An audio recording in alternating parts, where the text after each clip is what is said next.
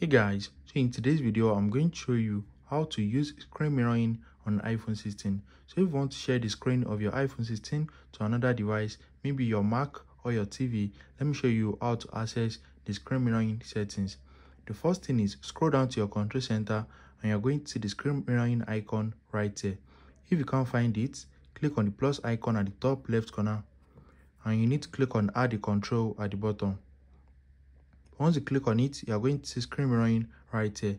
If you can't find it, you can also search for it at the top. Once you select it, it will be added to your control center. You can even drag this slider to make it bigger or smaller, depending on your choice.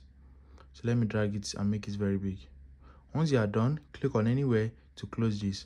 So now if you click on the screen mirroring, you'll be able to share your phone screen. As you can see, I am now sharing my screen to my Mac. Very easy and straightforward.